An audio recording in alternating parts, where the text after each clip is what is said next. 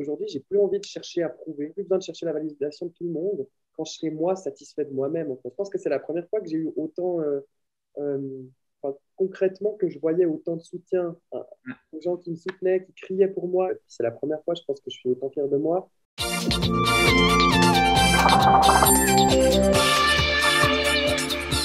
Alors, John, bonjour. Ah, bonjour. voilà, bah, on va commencer par les félicitations. Eh ben, trop bien, merci. félicitations. La liste, elle est longue, hein, mais je vais quand même te la faire. Troisième place à l'Eurovision Song Contest. Première place euh, du vote du jury en finale. Tu as remporté ta demi-finale. Prix Marcel Besançon de la meilleure composition. Respect. Bravo, monsieur. C'est euh, incroyable. C'est fantastique, finalement, d'avoir euh, un tel résultat. Est-ce que tu, tu aurais signé pour un tel résultat avant l'Eurovision avant Non, pour être honnête, non. Moi, je pensais, j'espérais en fait arriver dans le top 5, mais quand j'ai vu la finale et quand j'ai vu aussi euh, la qualité de, des prestations, moi, je me suis dit, bon, bah, on va essayer. mais non, je ne m'attendais pas du tout à la troisième place. Et, euh, et vraiment, moi, ce qui m'a. Enfin, ça en fait, c'est. faut bien comprendre que, évidemment, là, c'est listé, mais en fait, de le vivre, puis aussi de, et puis aussi de le de le vivre avec l'intensité qu'il y a, parce qu'il y a quand même eu euh, la journée euh, pour le jury pour la demi-finale, ensuite la demi-finale, que j'étais en deuxième demi-finale. Du coup, après, il y a directement, on enchaîne avec euh, la, la, la, finale, mais pour le jury, où là, j'ai eu des problèmes techniques. Puis du coup, j'ai discuté après avec les techniciens. On a fini la journée, je sais pas, à 2 h du matin, on rentre à l'hôtel. On se réveille à 8 h pour préparer la flag parade. Et ensuite, après, on repart. Et puis, en fait, il y a eu tellement de choses et tellement de manque de sommeil et tellement que, en fait, au final, tout est décuplé, tout est. Euh, ouais, toute émotion, elle est multipliée. Puis, euh, du coup, j'étais tellement fier et surtout, mais tellement heureux de enfin euh, que ça se fasse, que ça ait lieu. Que... Et puis, et puis ouais, j'étais vraiment fier aussi, bah, fier de moi, en fait. C'est la première fois, je pense, que je suis autant fier de moi. Et, et je suis toujours vraiment tout le temps perfectionniste, tout le temps un peu, oh, ça, Je suis tellement content parce que vraiment, c'est la première fois où je me suis dit, mais en fait, euh, l'essentiel, c'est que tu as, l'essentiel, c'est que tu t'es vraiment laissé, euh, que tu t'es fait confiance, que tu t'es vraiment laissé emporter par le, le show et, euh, et par l'énergie quoi, des gens. Et, c'était. Franchement, c'était. Je dis, j'arrête pas de le dire tout le temps, mais franchement, je pense sincèrement que c'était le beau. Ouais. Alors, tu as parlé justement du problème euh, lors de la, finale du jury, euh, ce manque de stabilité de la structure, tu avais l'impression que tu pouvais te casser la figure à tout moment. Ah, mais c'est pas l'impression, c'est qu'en fait, ah, il, y a clairement eu un problème dont on ne sait toujours pas la source. Mais euh, moi, j'ai la sensation, mais c'est pas, pas j'ai pas envie de, faire de, remuer quelque chose, bien, voilà, mais je veux dire, j'ai la sensation qu'il y avait au moins, enfin, qu'il y avait une roue qui n'était pas bloquée. Ouais. Mais ils m'ont, en fait, ce qui a été compliqué, c'est qu'il y a eu ce moment, on voit clairement le décor après bouger à quand même, je pense, euh, bien plus de 2 mètres quand même de sa place initiale. Euh, donc, euh, enfin, j'aurais pu, enfin, je sais pas, j'aurais pu tomber, j'aurais pu, il aurait pu tellement se passer de trucs, puis j'ai quand même essayé de camoufler ça, et ça m'a quand même affecté dans ma prestation. Alors oui, peut-être à une hauteur de 30%, mais pour moi, chaque pourcent, à, à, quel point ça peut t'affecter compte, parce qu'en fait, les prestations de chacun sont tellement exceptionnelles que il suffit qu'une fois, tu n'es pas en face de la caméra, ou bien une fois qu'il n'y a pas la lumière sur toi, que du coup, ça casse quelque chose vraiment. Du coup, euh, bah, euh, les, caméras ont suivi comme ça parce que je bougeais, du coup, et les lumières aussi, et ça a été incroyable. De, de, et moi, j'essayais de, me, de regarder au sol, de me dire, OK, bon, bah, alors attends, je peux me mettre là. Pour... Et en fait, le but, c'était vraiment de pouvoir le cacher, ça. Et puis, au final, quand je suis sorti, j'étais tellement dégoûté parce que moi, j'ai eu la sensation d'avoir fait vraiment quelque chose de pas bien, évidemment. Euh, je me suis dit, non, mais en fait, ma prestation, elle était nulle. Et en fait, ce qui, a, ce qui a été compliqué émotionnellement, c'est le fait que quand je suis sorti, ils m'ont tous dit, oui, non, non, mais tout s'est bien passé, en fait. Euh, je sais pas ce que tu racontes. je disais, mais non, non, mais arrêtez, enfin, le décor a bougé, quoi. Ils disaient, oui, mais euh, tout s'est passé comme d'habitude, en tout cas. Puis je disais, mais c'est pas possible. Et du coup, c'est vrai que je me suis senti tellement pas du tout entendu. Et puis j'avais l'impression tout d'un coup, ouais, ouais, mais peut-être, j'avais l'impression d'être le type qui faisait, qui embêtait pour rien, en fait. Puis c'était vraiment pas le cas. Et, du coup, émotionnellement, ça a vraiment été dur. Donc, quand je suis revenu le lendemain pour la finale, j'ai tellement eu la rage de OK, maintenant je vais tout donner et maintenant je vais faire ce que j'ai envie que, enfin, que j'ai envie, euh, euh, bah, de, ce que j'ai envie de, à quoi ça doit ressembler, ben, je vais le faire, je vais m'engager pour que ça donne ça. Euh, je ne sais plus parler aucune langue. et du coup, vraiment, j'ai essayé de faire mon max pour vraiment, en tout cas, être émotionnellement impliqué, d'être à fond là-dedans. Au final, je suis content parce que même si vocalement, je sais très bien, en m'écoutant, que la demi-finale, c'était mieux que la finale, ben, énergétiquement et mon, mon état d'esprit, il était tellement mille fois meilleur pour la finale parce que j'étais tellement, j'avais plus la rage, j'avais plus envie d'y aller jusqu'au bout, j'avais juste envie de vivre ce moment. Et puis je l'ai vécu et c'est pour ça aussi, souvent dans la vie, on vit plein de bonnes choses, mais on n'a pas forcément les conditions autour pour pouvoir vraiment en profiter. Et là, il y avait tout, parce qu'il y avait mes parents dans le public, il y avait mon label dans le public, il y avait des auteurs-compositeurs euh, dans la green room avec moi que je n'avais pas vu depuis le jour. On avait composé la chanson à cause du Covid, on n'avait pas pu se revoir, donc on a toujours travaillé à distance. Il y avait la délégation que j'ai pu prendre dans mes bras, parce qu'au final, euh, on a toujours travaillé un peu en bulle, c'est-à-dire, euh, moi, j'étais avec ma, mon assistante et meilleure amie. Puis si les gens voulaient nous parler, si les gens de la délégation voulaient nous parler, ils parlaient d'abord à elle. Ils venaient me transférer les informations. Enfin, c'est vraiment euh, fait pour qu'il n'y ait pas de contact. Et du coup, quand on se retrouve tous assis à côté des uns des autres, ça fait tellement de bien. Puis juste après être sorti de scène, j'appelle mon grand-père. Il était ému aux larmes. De nouveau, il pleurait. Enfin, il y avait eu toutes les conditions pour que, en fait, ce soit magnifique. quand il y a l'annonce des, des résultats, j'ai aucun stress parce qu'en fait, le truc, c'est que moi, je comprends rien de ce qui se passe parce que euh, j'étais tellement, euh, tellement content, j'étais tellement euh, content que ce soit fait. Puis j'étais surtout stressé, je pense, avant de monter sur scène. Mhm. Mais après, une fois que j'étais sur scène, une fois que ça s'est fait, c'est fini. Après, il n'y a plus de stress à avoir. C'est plus entre mes mains, c'est entre, la entre les mains du, public et tout ça. Donc, franchement, j'ai eu aucun, j'ai vraiment eu aucun stress. et, et j'étais juste content. Et du coup, quand ils venaient me filmer, ils disaient Ah oui, alors, un peu stressé. je J'étais, ah ben, franchement, non, euh, de toute façon, c'est fait. Maintenant, euh, c'est pas si je suis plus stressé ou moins stressé que ça va changer quelque chose. Euh, donc, donc, voilà. Quoi. Il, y a, il quand même un changement aussi, mais que je pense que le public s'en est pas rendu compte. C'est qu'il n'y avait plus de fumée pour le... Et ça changeait quand même quelque chose au niveau visuel, euh, puisque moi je trouvais que c'était un des moments forts hein, de euh, cette fumée, la lumière. Qui, on, avais vraiment l'impression que tu étais dans cette explosion dont tu parlais depuis le début, et on l'avait sur scène. il y avait un truc impressionnant. Et euh, j'étais presque en état de choc de ne pas voir la fumée. On disait, il y a un problème technique, il y a un truc qui ne joue pas, il se passe quelque chose. Est-ce que tu peux nous en parler? Bah, en fait, effectivement, je trouve que la fumée, symboliquement, c'était très fort et c'était vraiment euh, une bonne idée.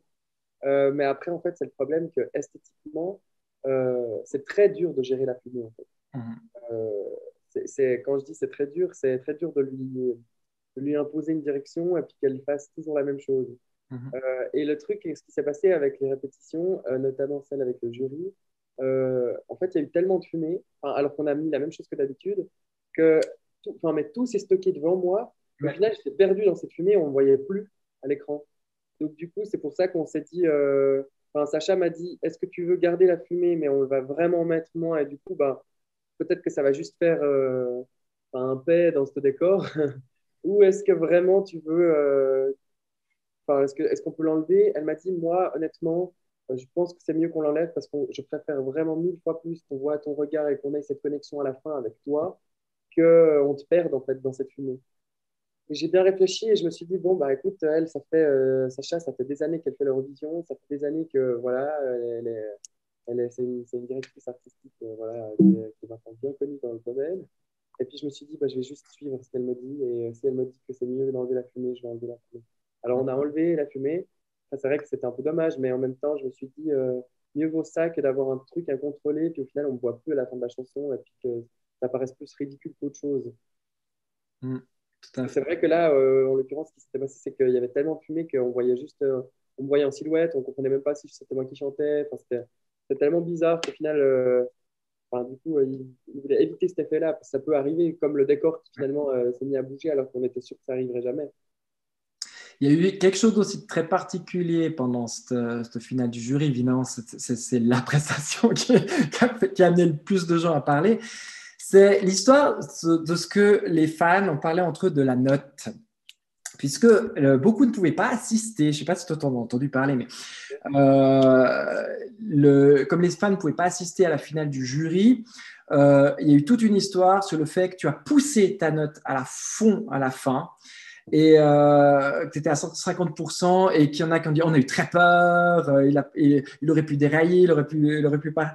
Et que au final, si tu as aussi poussé aussi longtemps, mais ça a été différent au final. Est-ce que tu peux nous expliquer un peu dans quel état d'esprit tu étais finalement à ce moment-là où il fallait tout lâcher dans cette, euh, dans cette finale du jury où tu te déplaçais sur scène, etc. En fait, c'était juste que ça s'est tellement pas bien passé, comme je disais avec ce, avec ce décor, que j'avais tellement la rage que j'ai cru, j'ai eu la sensation que tout d'un coup, il fallait que je trouve quelque chose de plus, en fait. Mhm. Parce que j'étais tellement vraiment. Euh, alors que c'est stupide, mais sur le moment, des fois, on fait des choses instinctives, et puis, euh, puis voilà, euh, on n'a pas tellement le choix, on s'écoute, et puis maintenant, c'est fait, c'est fait. Mais c'est vrai que c'est pour ça qu'après, je suis revenu à, la, normale, parce qu'en fait, la normale me convenait très bien, elle me plaisait. et puis, je préférais avoir resté un peu plus fidèle à la, la ligne originale de la chanson. Mais c'est vrai qu'à ce moment-là, je pense que j'étais tellement énervé que c'était plus un cri colère, que, que ça se passe pas comme je voulais que ça se passe, que j'ai eu tous ces problèmes. Et puis que, et je pense que ça m'a ouais, ça m'a tellement déstabilisé que j'étais là, non, mais c'est pas possible, en fait, il faut que je prouve quelque chose de plus. Et, euh, et, euh, et après, au final, bon, bah, c'était pas non plus la, la note la plus juste de, mais j'avais vraiment envie de montrer que je pouvais aller encore plus haut, encore plus loin, encore plus fort, encore plus haut. Et, euh, et c'est pour ça que je l'ai fait. C'était, je pense, c'était juste une, une réaction instinctive, euh, un peu, euh, on va dire un peu stupide, mais de, de, de ah purée, c'est pas en train de se passer comme je veux, il faut vraiment que je montre. Comme si tout d'un coup, euh, si coup, parce que j'avais vu par exemple une fois une championne, une championne de, patinage artistique qui, qui était tombée. Et du coup, parce qu'elle était tombée, elle est tombée trois fois, et quand même, au final, elle a quand même, elle a quand même fini championne du monde parce que elle a fait une, une figure que personne d'autre avait fait.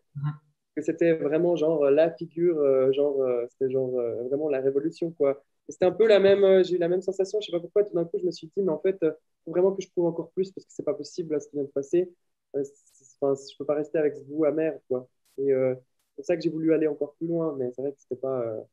en tout cas, c'était pas tellement dans l'émotion, c'est dommage parce que c'était au final un peu plus de la démonstration, mais bon maintenant ça.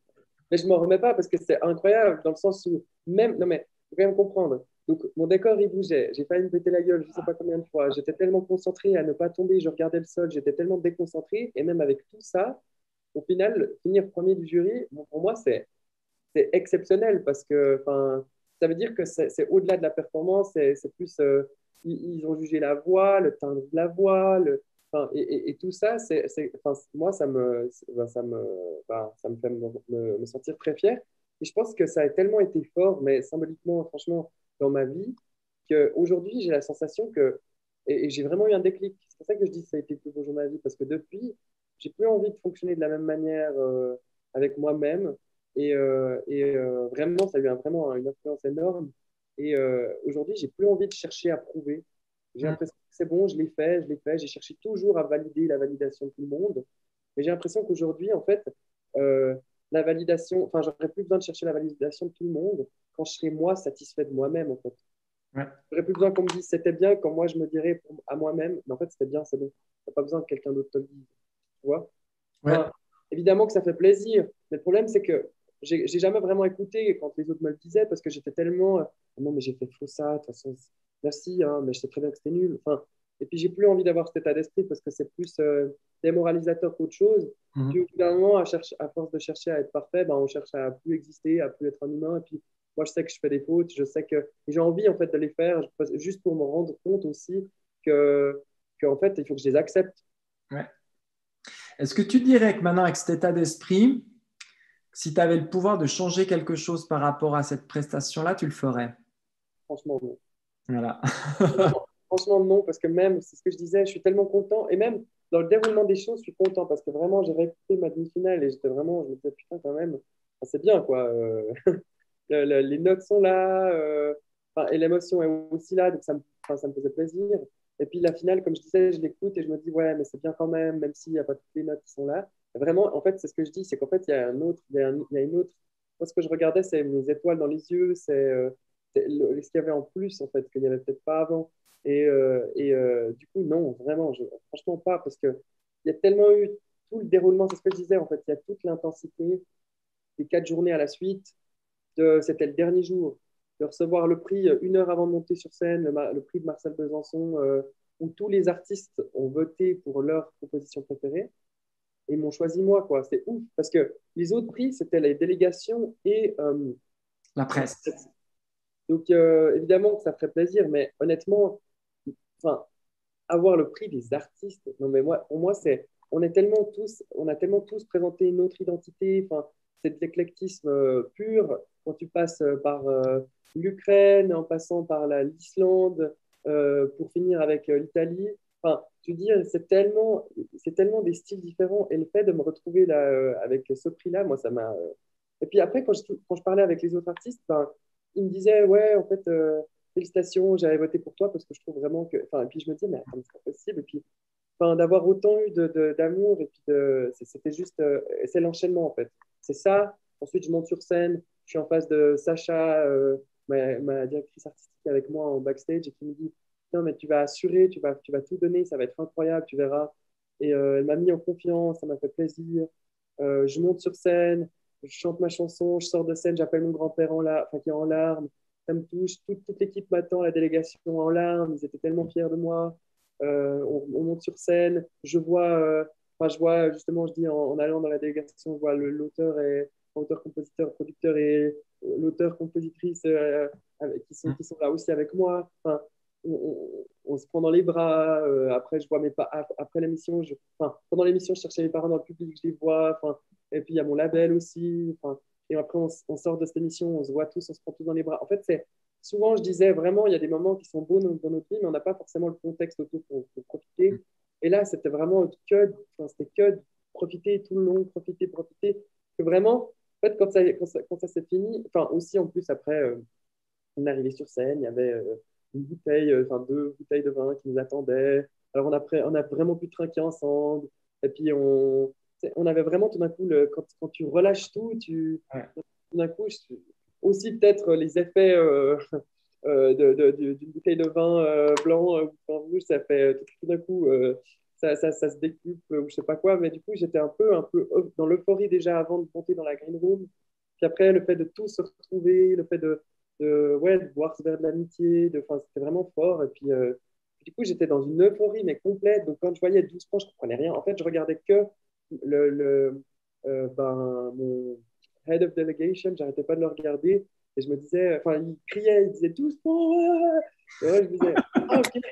Okay. pas que lui qui criait. je comprenais rien du tout. Je comprenais tellement rien parce que j'étais tellement. Euh, enfin, j'étais en train de vivre le moment, mais j'étais en train de me dire je suis à côté de ces gens que j'aime et ils sont en train de me soutenir, ils sont tellement en train de, de donner de la voix pour moi. Ils sont, je pense que tout ça, ça m'a fait. Euh, ouais, je pense que c'est la première fois que j'ai eu autant, euh, euh, concrètement, que je voyais autant de soutien hein, aux gens qui me soutenaient, qui criaient pour moi, qui, qui, se détruisaient la voix pour moi. Quoi. Alors, en parlant de soutien, tu as. Tu étais admiré par beaucoup d'artistes de, de l'Eurovision de cette année. Euh, mais tu as vécu un Eurovision assez particulier, vous n'aviez pas la possibilité de vous rencontrer.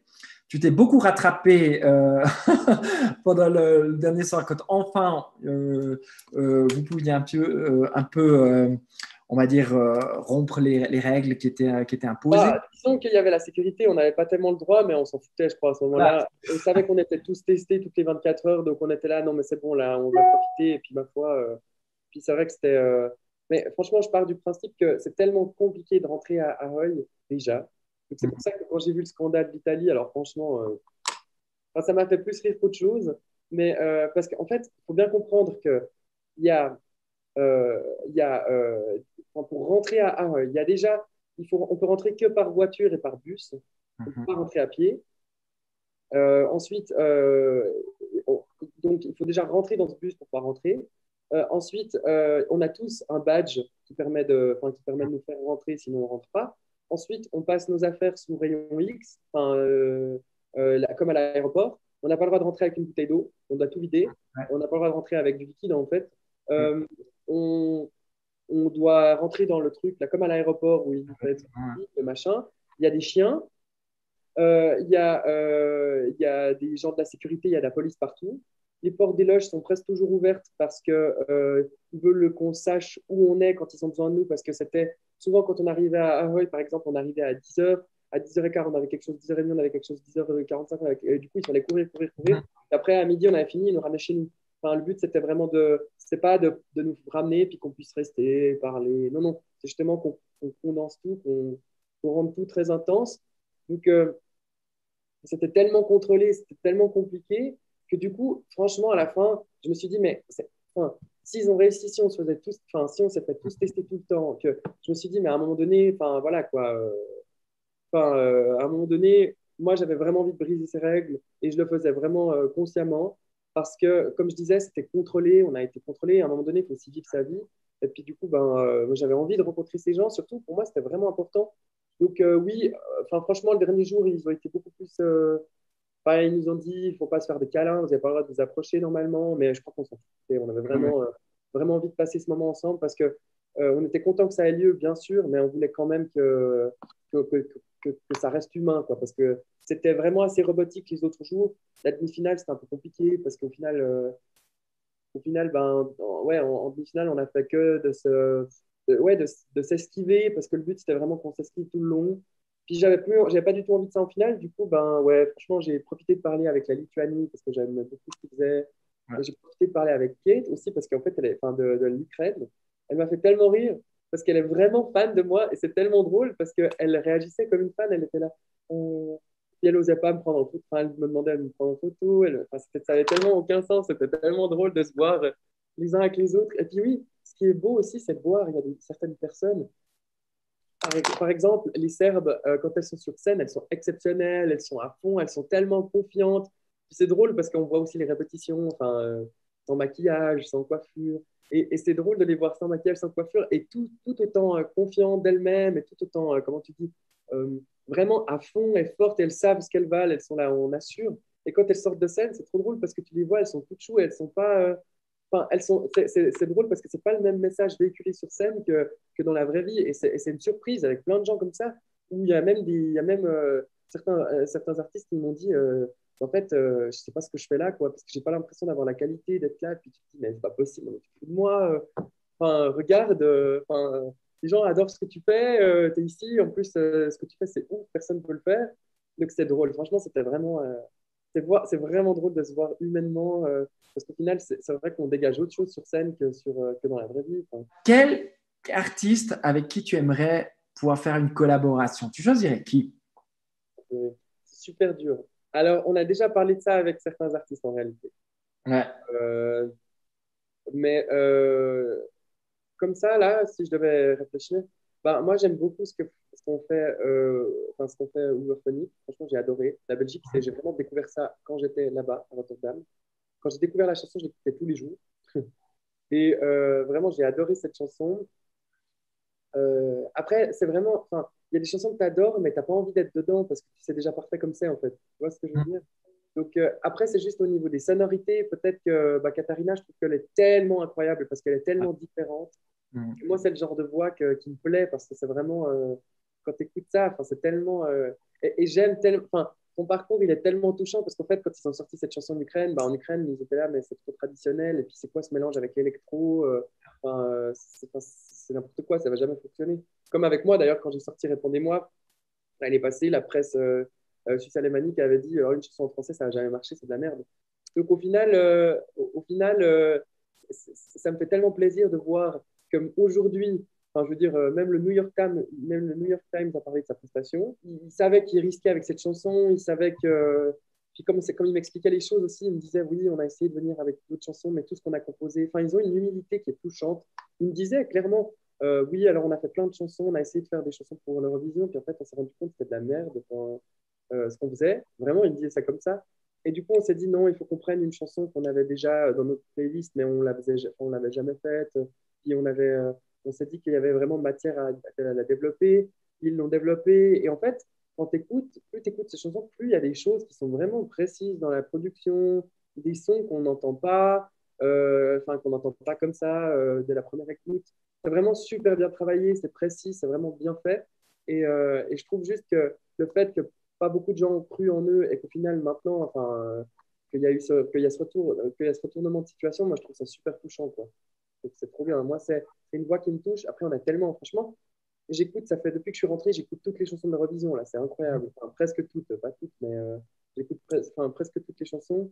Et, et c'est difficile de dire, mais je pense, oui, je pense que. Alors, j'ai demandé, j'ai demandé ça, c'est une exclue, de nouveau. J'ai demandé, parce que je vais potentiellement chanter dans une émission en Espagne, alors moi j'aimerais bien que Blas chante avec moi et qu'on chante une chanson ensemble. Après, c'est plus des duos comme ça, c'est peut-être pas une collaboration, euh, genre une proposition et tout ça. Mais moi, j'aimerais bien, peut-être, moi, c'était là, c'est Katharina à, laquelle je pense, parce que justement, je dis qu'elle a une voix exceptionnelle et vraiment très spéciale. Alors, au niveau euh, des personnalités qui, euh, qui ont été merveillées par ta prestation, alors il y a eu plein, tu, tu sais, Alain Berset, Guy Parmelin au niveau un peu officiel. Mais tu as aussi eu euh, des artistes de l'Eurovision des autres années qui, euh, qui, ont été bluffés. Je pense notamment, à Conchita Wurst, gagnante en 2014, à Keino, euh, qui, sont les Norvégiens qui ont gagné le vote du public en 2019 à Tel Aviv. Elgar de Heleniki, gagnant de l'Eurovision en 2011. la liste, elle est super longue.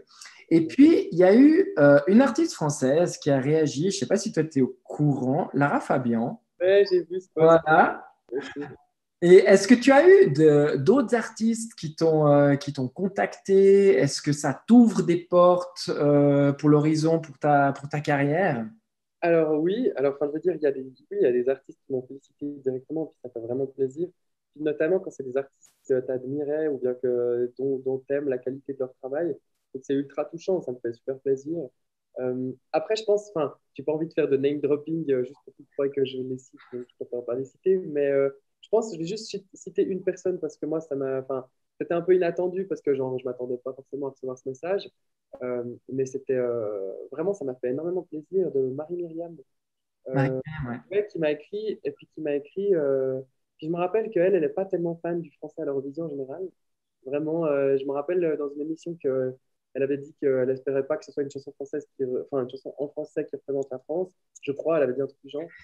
Euh, et puis parce que et, le fait qu'en fait, elle m'a écrit, elle m'a dit euh, après la demi-finale, elle m'a écrit, elle m'a écrit un message en me disant euh, je suis bluffé par ce que tu viens de faire, tu m'as vraiment touché au plus profond de mon cœur et puis et, et pour moi, tu es le gagnant cette année parce que tu es le seul qui a vraiment réussi à me toucher en fait à ce mm. point-là. Et ça m'a fait tellement plaisir parce que justement, par rapport à justement ce que je viens de dire avec le français et tout ça, le fait que au final, euh, ben le, au final, euh, c'est la manière dont on raconte une histoire qui fait vraiment euh, la qualité de, de, de, l'histoire et pas forcément la langue. ça m'a touché de recevoir ce message-là. C'était vraiment, vraiment fort. Et puis, elle aurait très bien pu ne pas le faire parce que, enfin, je veux dire, elle n'a pas besoin en fait de, ça. En fait, ce que j'aime, c'est que ça n'a pas du tout été intéressé. Ça a vraiment été euh, juste son ressenti et elle m'a, elle m'a, elle m'a, elle m'a transmis son ressenti. C'était vraiment touchant en fait. Tu as de l'intérêt euh, d'énormément de personnes, des médias euh, notamment. est-ce que tu arrives quand même à te reposer? Puis est-ce que tu as prévu des vacances? Alors, me reposer, je pense pas. Enfin, j'ai vraiment. En plus, ce qui se passe ces temps, c'est que du coup, j'ai un peu, un peu peur parce que j'ai vraiment envie de bien faire les choses pour la suite. Du coup, j'ai un peu des crises d'angoisse. Euh, enfin, je dors pas très bien, pour être honnête. mais euh, mais euh, bah, j'aimerais bien dormir. C'est vrai que j'aimerais bien faire une fois une nuit, une vraie nuit de sommeil. Parce que du coup, je dors. ben, hier, je crois que j'ai dormi de 22 à 2 heures du matin. Mm. je suis un peu décalé. Je suis en pleine, je pense aussi, période un petit peu de doute. Parce que c'est vrai que, comme j'ai dit, j'ai envie de. Ben, il faut préparer un album. Il faut avoir quand même. J'ai envie de présenter des bonnes chansons. Et j'ai vraiment envie aussi de présenter les, bonnes chansons dans le bon ordre. Puis euh, c'est juste, euh, c'est juste vraiment, je veux bien faire les choses, donc forcément, ça fout euh, une bonne pression. Et notamment aussi pour les interviews, j'ai vraiment envie de donner du temps pour ça, mais j'ai aussi envie, d'en prendre pour moi. Mais c'est vrai que du coup, par exemple, je suis en train de planifier pour éventuellement partir ben, en Albanie. je, ben, je planifierais de partir dans deux jours. Albanie pour deux jours, pour revenir en France, pour partir après en Espagne, si tout se passe bien. Donc en fait, euh, c'est vrai que du coup, là, pour être honnête, les deux, les deux prochaines semaines, c'est juste courir, courir, courir. Donc euh, j'espère qu'au moins, euh, après cette course-là, ça va un petit peu se calmer. Mais à mon avis, jusqu'en août, il n'y aura pas de vacances, c'est sûr et certain, même pas un week-end. Mais mais peut-être que. Mais peut-être que. Enfin, en août, moi, j'avais prévu de partir avec mes meilleurs amis, parce que ça fait cinq ans qu'on essaie de partir et qu'on n'arrive jamais à trouver le moment. Et là, euh, on pensait partir à Rome en août. Donc, j'espère. c'est dingue quand même, je pars dans le pays du gagnant. Voilà! mais, euh, mais, ouais, ça fait, ça fait plus d'un mois, deux mois qu'on a planifié ça. Le problème, c'est que maintenant, il faut regarder avec l'album si c'est possible ou pas. Mais je sais que tout le mois de juin, il faut vraiment que je sois en France pour enregistrer, trouver des producteurs. Et euh, du coup, c'est un peu la. C'est vraiment la course. Donc, euh, pas de vacances pour le moment. Au moins, j'espère au moins un début de sommeil, peut-être euh, les... après les deux prochaines semaines. Et puis, si possible, peut-être un week-end. Puis tu as signé donc avec un label français. Il y a des rumeurs qui disent que tu vas déménager à Paris, c'est vrai?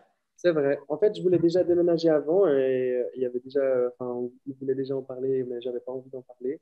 Je voulais vraiment que je voulais vraiment que ça se sache dès le moment où je partirais.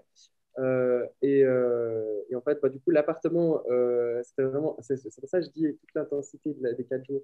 L'appartement dans lequel je devais emménager, puis c'était bon, quand tout était bon, il fallait juste aller signer les papiers. Bah, au final, ils m'ont fait faux bon, ils ont, ils ont refusé directement. Tu, tu l'as dit, tu as prouvé et tu as été entendu, tu es aimé maintenant. Donc, il n'y a que du bonheur qui peut arriver. Moi, j'ai des bisous à te, donner. Alors, c'est d'abord de l'équipe de, 12points.ch, toute l'équipe. Il y a également Sabrina Evelyn qui, euh, qui me demande de te faire un gros bisou. Elle laisse redescendre un peu les choses, puis après, elle te reprend en contact avec toi. Tu fais partie de la Eurovision Family, comme on dit maintenant. Donc, euh, euh, c'est qu'un début et on te souhaite vraiment le meilleur pour la suite. Ah, bah, c'est chouette. Merci beaucoup, en.